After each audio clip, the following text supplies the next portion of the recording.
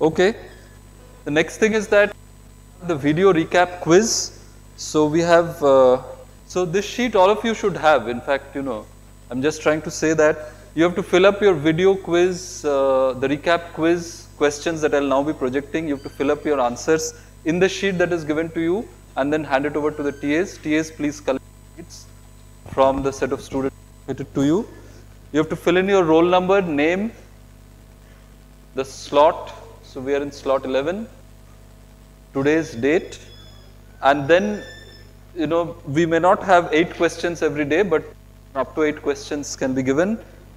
We may not have all 5 options for every question but up to 5 options will be given and you have to tick all that are applicable. Some of the questions and one correct option you have to tick them. For example, in this case, you know, this is just a sample one. It doesn't mean that today's quiz will have these as the solutions. Okay. So there's a for loop in C++ where the different placeholders have been filled up with x, y, z and w and you're required to tell us which of the following statements is correct. Okay, we are not asking for the ones, we are asking for the correct ones. The option A is x, y and z may be empty but w cannot be. B is all of them may be empty. And C says if y is not empty then x and z cannot be empty and is none of the above. Okay, if you have seen the video lectures, it should be very straightforward. Okay, so we'll give you a minute and after that we'll move to the next question. Okay, now we move to the next question. Which of the following is a C++ expression and more than one answer may be correct? The first option is x is assigned y plus z, then it's x plus plus, it's while true x plus plus semicolon and break semicolon. So we move to the next question. The precedence of assign as an operator is which of the following and more than one may be correct. Same as that of plus and minus, less than that of plus and minus, more than that of star and slash, multiplication and division, and less than that of logical and logical OR. So once again, these are not meant to be tricky questions. These are st straight from the video lectures. If you've just seen the video lectures carefully, you should be able to answer them. It's just to figure out whether you're actually watching the videos. Let's go to the next one. It's about the continue statement in a for loop. What does it do? It specifies that the loop must execute infinitely, causes the next loop iteration to start, causes the program to terminate immediately, causes the loop to exit immediately. Move to the next question. Consider this for loop and which of the following are correct. So i assign 0 comma j assign 10 will cause a compilation error. j minus minus comma i plus plus will cause a compilation error. Both of them will cause a compilation compilation. Okay, we move to the last question. Specifying loop invariants as comments serves which of the following purposes? Helps the compiler optimize the loop, helps us reason about the loop's correctness, helps the compiler ignore errors in the loop, helps the computer skip executing the loop. Okay, so what we'll do now is, uh, you know, I hope all of you have answered the questions correctly. If you have seen the video lectures, it should have been very easy. What we'll do now is we'll quickly go through some of the important slides from lectures 23, 24, 25 based on which the, the current quiz was and uh, then we'll look at problems. So if you have seen the lectures, you would have already seen that the assignment operator, assignment can also be viewed as an operator, not only as a statement. Okay? And uh, for example, when we write something like x is assigned y plus z, if you put a semicolon at the end of it, this is a statement. It computes the value of y plus z. y plus z is an expression. It computes the value of y plus z, assigns it to x. Right? And without the semicolon, this will be viewed as an expression where the assign symbol is treated as an operator, just like plus is an operator here And what does this expression do? The type and value of this expression are the same as the type and value of the part to the right hand side of the assigns operator. Okay? And when you evaluate such an expression with an assignment operator, there is a side effect. The side effect is that the value of this expression gets stored in the variable x. Okay? So with the assignment symbol, not only can you write assignment statements, but you can also write assignment expressions as a side effect of which you get the actual assignment of a value to a variable. Okay, so this was there in the video lectures. So for example, in a for statement, if I say count is assigned 1.0 here and count is assigned count plus 1 here, these are really assignment expressions with side effects. You could put other expressions also there, that's fine, but if you put these expressions then there are those side effects that something is getting initialized, something is being updated at the end of the iteration. This expression will be evaluated once before you enter the loop. This expression will be evaluated at the end of every iteration of the loop. Okay, and if evaluating the expression has a side effect, then that side effect will also happen at the end of every iteration. And then we looked at some special assignment operators, the post increment operator, which is x plus plus, right? So this is an expression. What is the type and value that it has? It has the same type as x and the value it has is the same as that of x before it is incremented. But it has a side effect and the side effect is that the value of x will actually be incremented. So the value of the expression x plus plus is the value of x before incrementing. You evaluate the section, it has a side effect which is that the value of x will actually get incremented. And if you have this y assigned x plus plus semicolon, so this is an assignment statement on the right hand side is the expression x plus plus and suppose uh, we say that the value of y prior to execution of the statement is 10, the value of x prior to execution of the statement is 2, then what will be the values of y and x after the statement executes? So y will get assigned the value of the expression x plus plus. What is the value of the expression x plus plus? It is the value of x before incrementing. What is the value of x before incrementing? That is 2. Okay, so y will get assigned the value 2. But in evaluating the expression x plus plus, you would end up incrementing x. So the value of x after the statement would be 3. Is that clear? And similarly, you have the pre-increment operator where you put the plus plus before the variable or the expression. And this, this also increments as a side effect, it increments the value of x.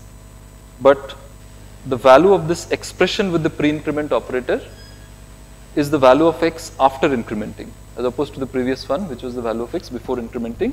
So if you have y is assigned plus plus x semicolon, this is an assignment statement. The expression on the right hand side is plus plus x. If the value of y and x are 10 and 2 before that statement is executed, then when that statement is executed, the expression plus plus x is evaluated.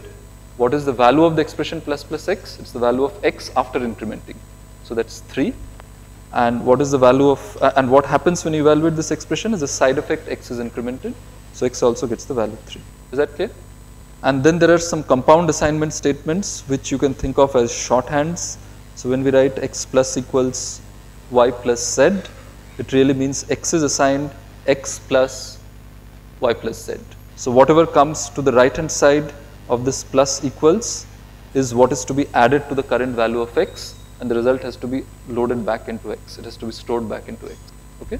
And similarly for the other operators, minus equals, star equals, divide equals, remainder equals. Okay? So x percent equals 5 means that x will be assigned the value of x percent 5. The remainder of x on dividing by 5. Fine? So that's straightforward. And then uh, there was an entire video lecture, the last one, lecture 25, on how to reason about loops. So while you know we believe that you should know that you know how to reason about loops, uh, if you if you're not understanding that immediately right away, that's fine. You can come and revisit that later. As you write more and more complicated programs, you'll begin to appreciate the importance of that lecture. When you write a loop, you must first be clear in your head what is it that you want that loop to do. So that is captured by preconditions and postconditions. Precondition is the relation between variables before the loop starts iterating. post condition is the relation between variables after the loop has completed its all its iterations.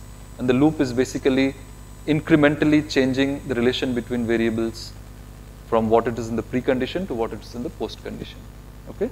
And the loop invariant is a relation that holds every time the loop iterates. So in the video lecture, we had actually worked out an example where we had shown what the precondition post condition loop invariant might look like. So the precondition and post condition can be seen as special cases of the loop invariant. Loop invariant holds at all points. Whenever you reach, whenever you begin an iteration of the loop, the loop invariant holds at that point. Uh, and in order to ensure, you know, when you write a complicated program and you have a loop there and you have some complex loop condition, you want to make sure that the loop actually terminates. Otherwise, it might, you know, it might be a non-terminating or infinite loop. So it's desirable to have some integer valued metric, typically an expression on the variables of the program, which monotonically changes towards a fixed value. So for example, a counter decrementing from n to 0 or a counter incrementing from 0 to n. So it's monotonically changing in each iteration of the loop towards a fixed value. And this metric which changes in each iteration of the loop and eventually reaches that fixed value is also called a loop variant. And uh, this is useful to argue that your loop is actually going to terminate. Okay, so uh, are there any doubts on the video lectures? Uh, so, so what is not clear? Can you tell us? So pre, so when you write a loop, right? So I mean, right now we are going to do that. We are going to give you some practice problems and we'll say write a program with loop which does it. So how do you go about doing that? You know, if I, let us say, uh, so, so to take an analogy, right? I mean, if I say that, let's go from here to, let us say, you know, Srinagar. Do you just say, let me jump onto the road and start walking and then I'll figure out how to reach Srinagar? You don't do that, right?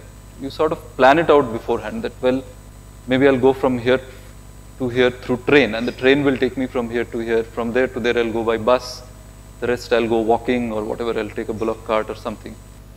So you actually plan out things when you have a certain objective to do. You, you don't just jump onto the road and say, let's start walking wherever my eyes can see and uh, finally I'll figure out how to reach Srinagar. So similarly, programming is a similar task. If I ask you to solve a problem, and if you're trying to solve it through an iteration construct, you have to plan it out. What is it that you want that loop to do? What, what should be the purpose of that loop? Why are you putting that loop in there? Right? And the precondition is saying this is the relation that existed between the program variables before the loop. The post condition is saying I want this relation to hold after the loop executes. So that's the precondition and post condition at a very high level. It's some relation on the, the post condition is really what you want to achieve by the loop. The precondition is from where you are starting. Right? It's like saying my precondition is I'm standing in IIT Bombay in Powai.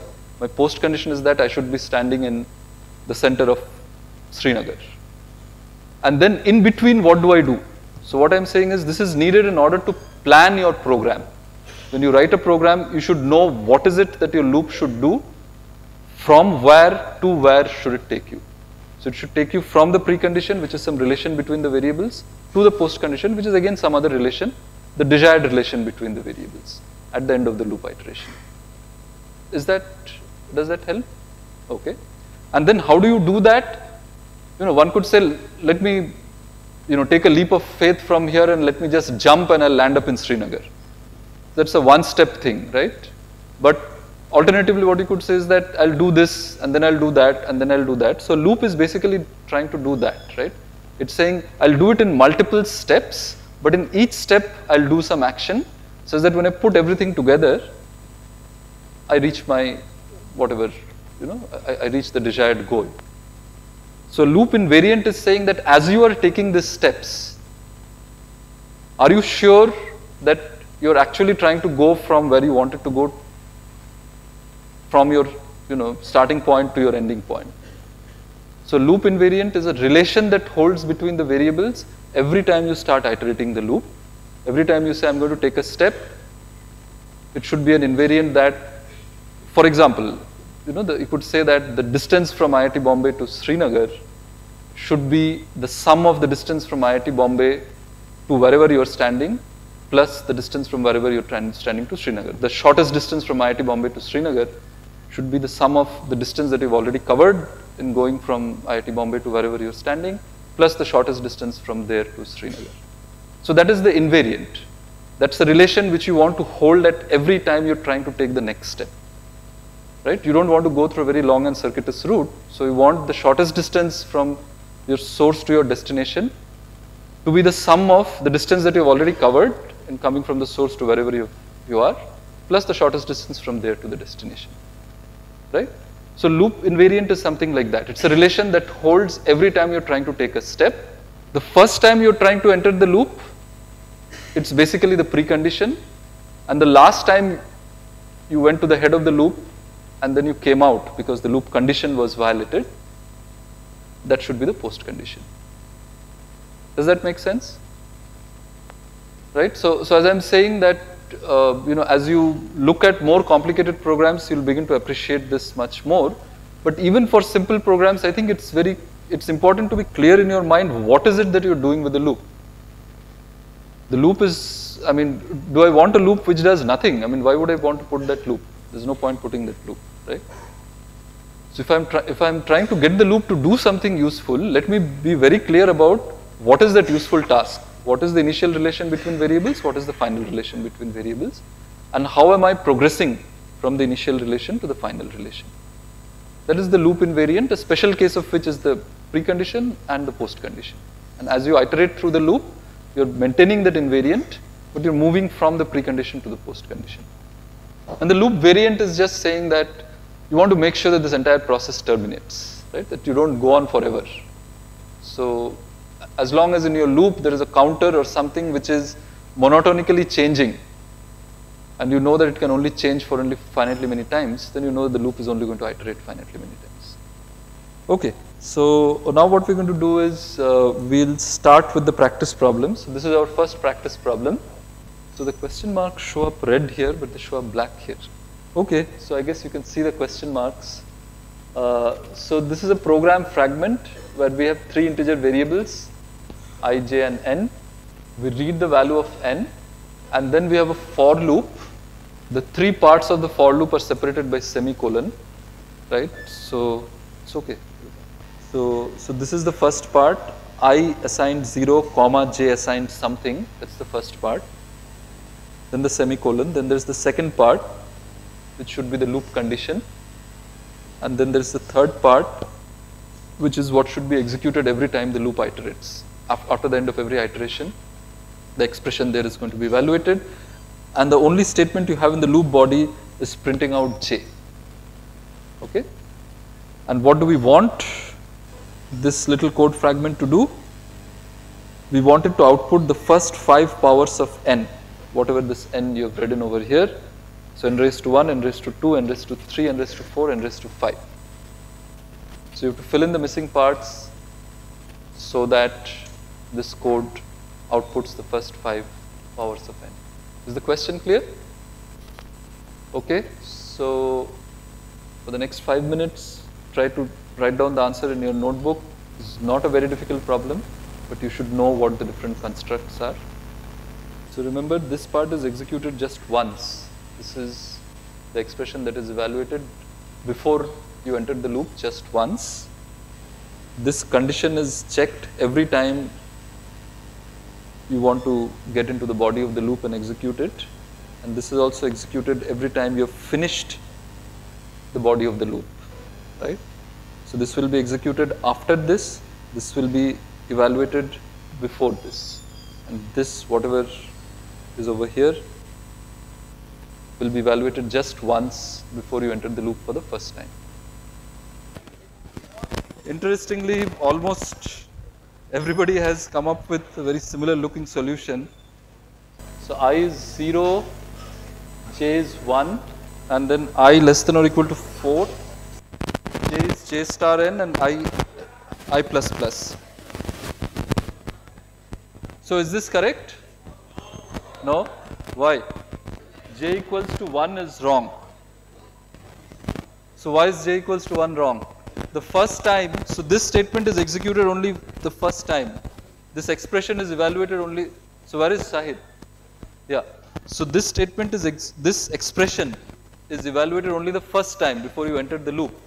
After that this condition is checked and after that you execute this statement, right?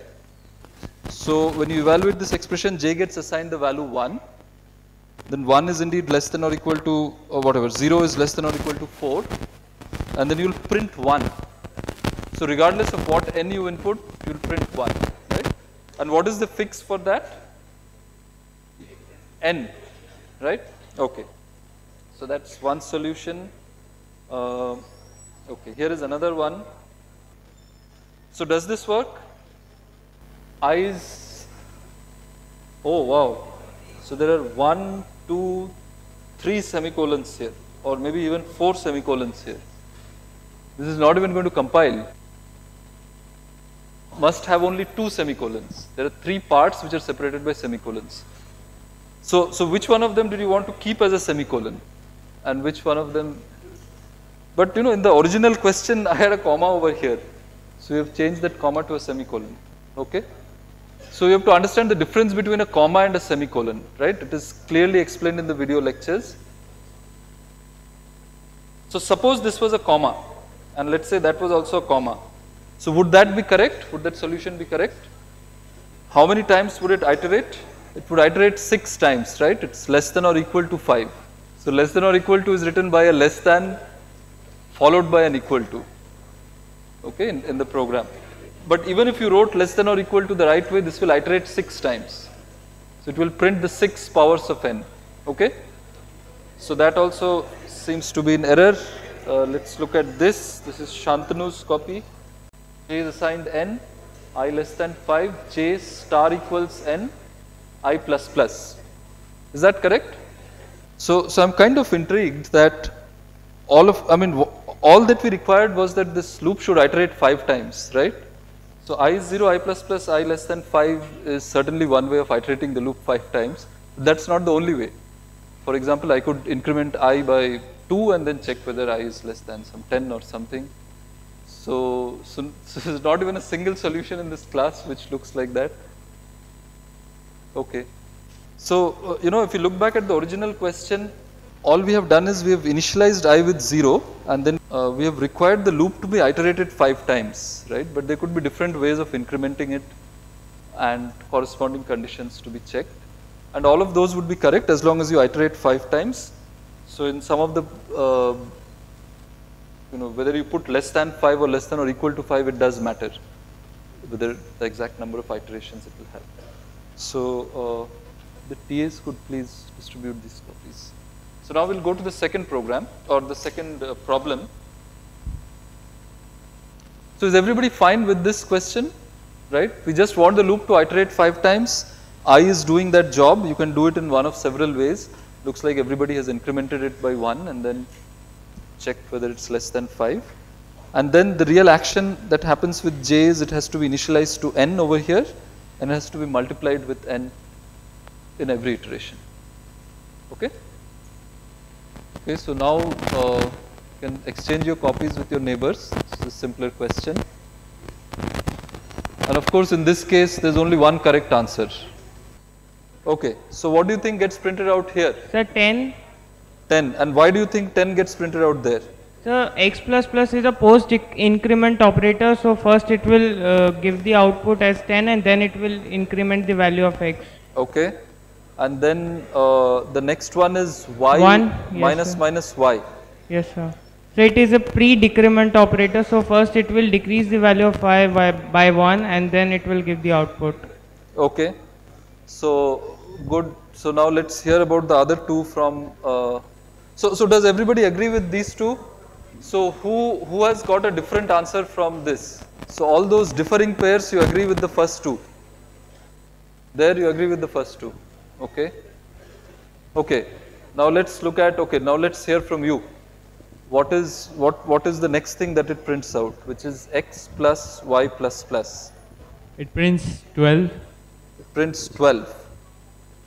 So how many of you agree that this will print 12? Sir, I got 11. You got 11, okay. So how did you get 11?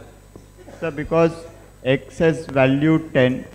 Oh, no, no, no, it will be 12, 12, it will be 12. It will be 12. Yeah, x will become 11 and then y is 1, so 11 plus 1, 12. Okay. So x is 11 and y plus plus gives out 2. So x, X plus is 2. 11 and y plus plus will give 2. Y plus plus will give 2. Yeah. Okay, why should y plus plus give 2?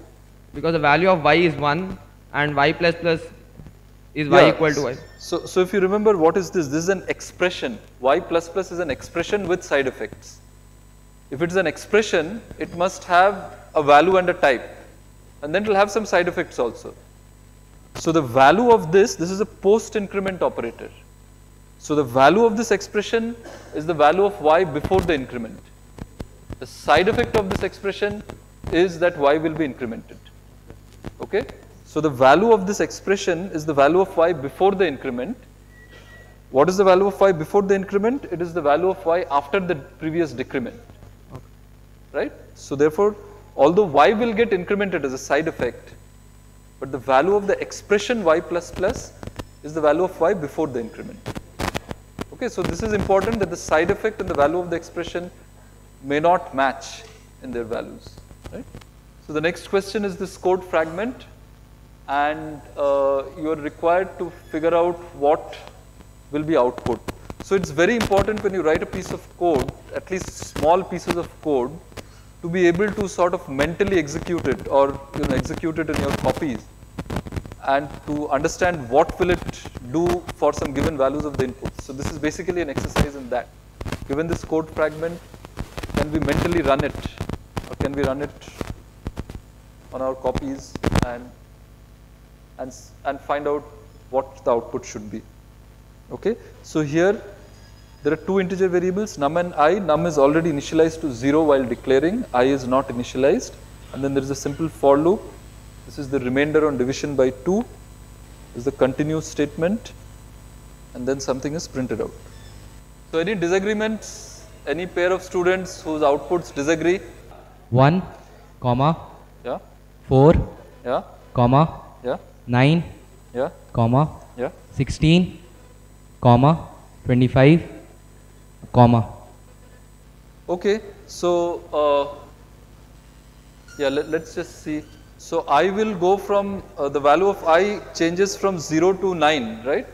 i is 0 till i less than 10. And each time if I take the remainder with 2, then it will keep, once it will be 1, the next time it will be 0. For even numbers, the remainder is 0, the odd numbers, remainder is 1, right? And uh, if you look at the original pro uh, problem, if the remainder is 0, then you continue. Which means what? What does continue do? You just forget about whatever you are doing and go back and start the next iteration, right? And of course, before starting the next iteration, you increment it and then you start the next iteration. And uh, otherwise, for odd values of i, num plus equals i. So is this clear what that does? Num plus equals i basically means i is added to num and the value is stored back in num. Okay. So we, we had shown this earlier. x plus equal to y plus z means x plus y plus z and it is assigned back to x. So num plus equal to i, what does it do? This is the same as saying num is assigned num plus i. Num plus equal to i just means this. Okay. So if you keep adding the numbers, then you will find that you get the squares of the first five numbers. Okay. So initially, uh, so num is 0 to begin with. So initially num is 0 and then when i is 1, num becomes 1. Right. Then when i is 3, num becomes 1 plus 3.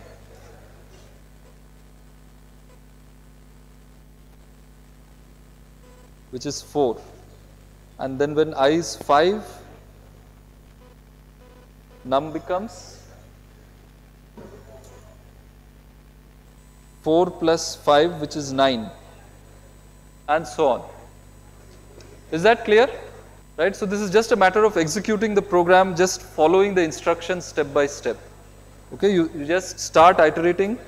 So if i is 0, then 0 divided by 2, the remainder is 0, so you continue. So you do i plus plus, i becomes 1, and you enter the loop again. 1 is less than 10, you enter the loop again.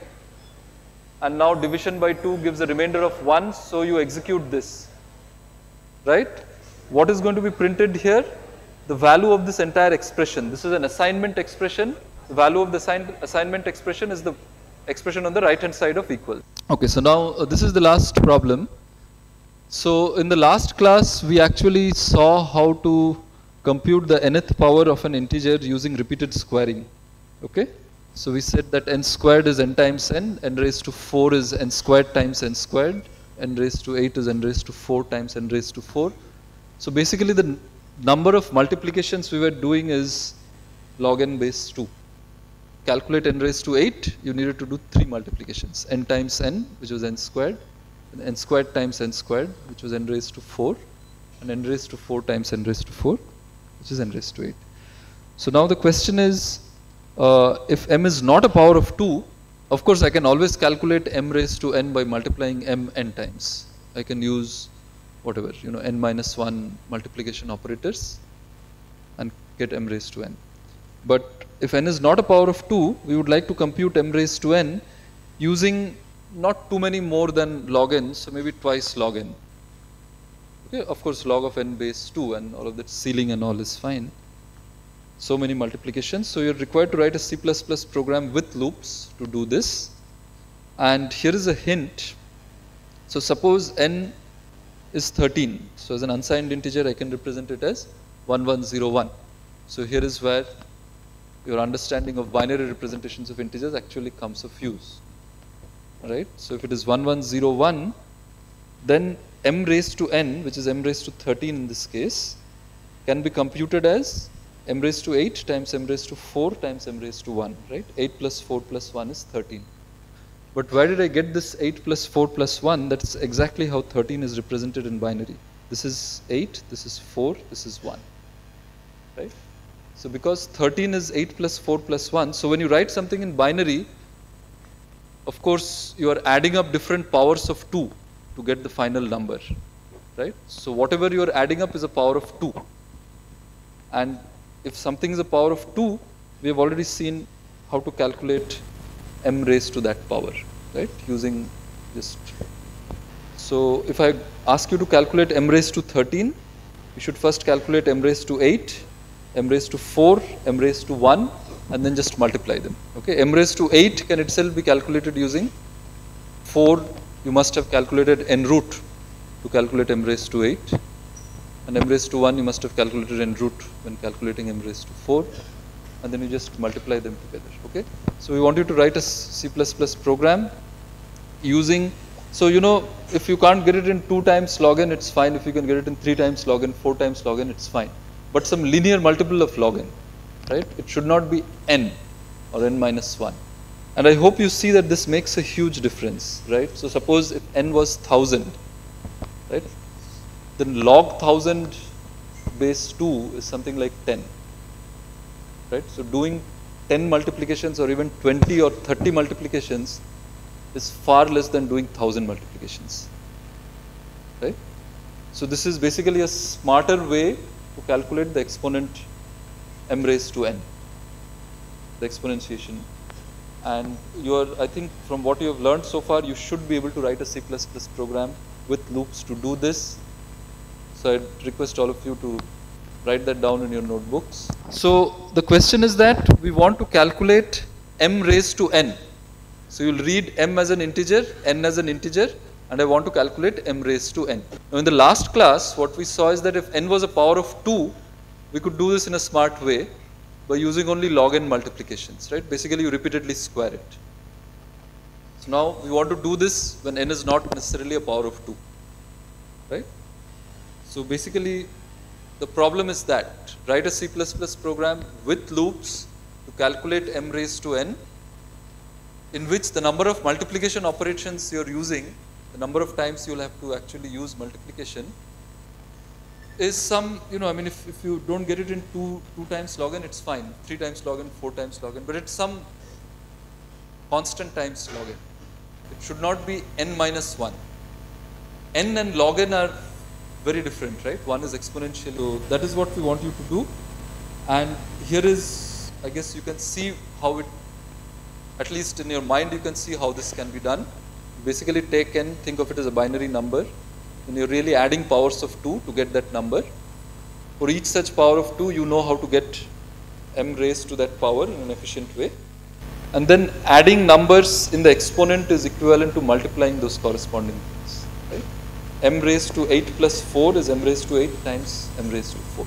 So, so let us say that n is 33. Okay? So we know that 2 raised to 5 is 32 and 2 raised to 6 is 64. So log n base 2 will be 5 point something. So what is the ceiling of log n base 2? That will be 6. So what is 2 times ceiling of log n base 2? It is 2 times 6, it is 12. Right? So basically what we are asking is, if you have to calculate m raised to n, in this case n is 33, so basically if you have to calculate m raised to 33, write a program which calculates m raised to 33 using at most 12 multiplications. Right? The simple way to do it is to keep multiplying m and so you'll need 32 multiplications. right? M square can be calculated using one multiplication, m cube using two multiplications. So here raised to 33 can certainly be calculated using 32 multiplications, but we want you to get using only 12 multiplications. Is the problem clear? We are basically trying to optimize on the number of multiplications because multiplication is actually an expensive operation on a computer. It takes time, takes power. So if I can have an efficient way of calculating exponents, that's good. Okay, has anybody come up with the solution? So Rudrajit, uh, basically reading in m and n, that's fine. While a is greater than 0, a is initialized to n over there.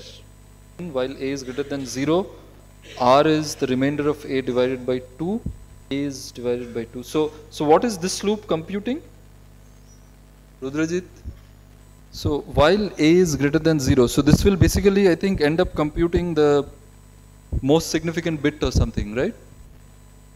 Oh, you're just calculating how many number of bits by using this plus plus. Okay. So, you know, I mean, I, I guess this is a very good example. You write a loop like this, and then Rudrajit and I are trying to understand what this loop does.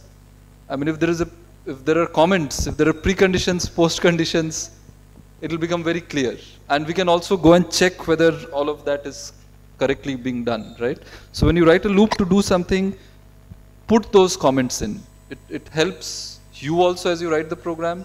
It helps somebody else to understand, okay? So basically he has used this loop to calculate the number of bits in the binary representation of n. And then while n is greater than 0, you're just calculating the bits, is it? C is m, so this is where the repeated squaring is happening and you're repeatedly squaring it for the number of bits, I can see that. Okay, so, so there is a while loop here and within the while loop there is a for loop. So what is the while loop doing? Okay, so, so there is some nice logic that he has used here, but the way it has been written it becomes difficult to read. So please, you know, when you write program, put comments. I think your program is correct, uh, but you know, I've not checked every detail. I can also see something interesting over here that Rudrajit has actually tried out some input examples, and I think this is very important. You should do this.